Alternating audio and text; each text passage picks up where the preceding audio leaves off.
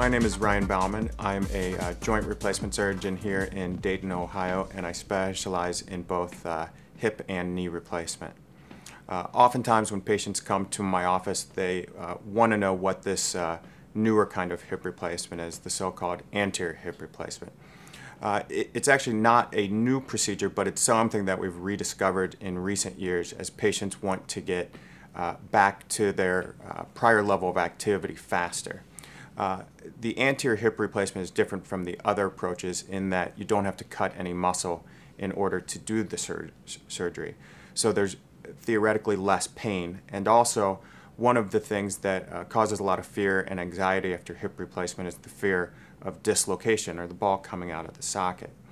Uh, with this approach, since you aren't cutting muscle, the dislocation rate should be lower. And uh, for, for, patients, uh, lowering the, their anxiety, anxiety level uh, is very important.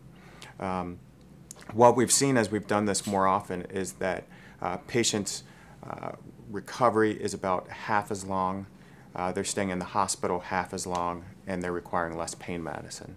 So for all those reasons, that's become a very attractive option for patients that need hip replacement surgery. So most patients uh, come to, to see me when, when they have long-standing pain in their hip. For most patients, that's pain in their groin, uh, pain in their thigh, or, or pain in their backside.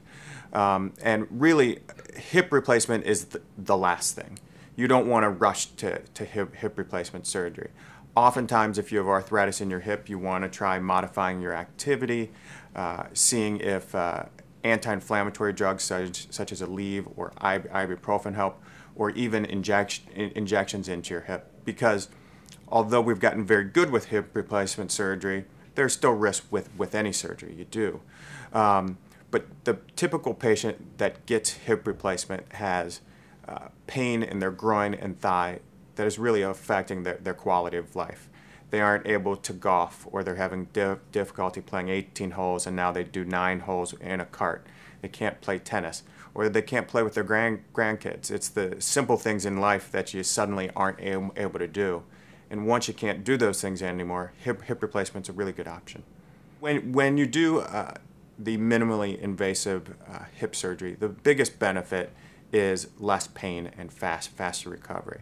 But it's not really that we're doing just the anterior approach. We're also uh, taking a uh, management of pain uh, differently and trying to control the pain at multiple levels uh, such that we can reduce the, the amount of nar narcotic medicines that, that you have to take that make you tired, constipated, and just not re really feeling as well.